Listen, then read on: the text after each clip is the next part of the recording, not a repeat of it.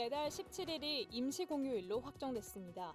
이에 따라 토요일인 광복절에 이어 월요일인 17일까지 사흘 동안 휴일이 이어지게 됐습니다. 정부는 21일 청와대에서 문재인 대통령 주재로 국무회의를 열어 이 같은 내용을 담은 관공서의 임시 공휴일 지정안을 심의 의결했습니다. 정세균 국무총리는 신종 코로나 바이러스 감염증 사태 장기화에 지친 의료진과 국민들의 휴식권을 보장하고 휴가철 내수 활성화 흐름을 이어가기 위한 조치라고 설명했습니다.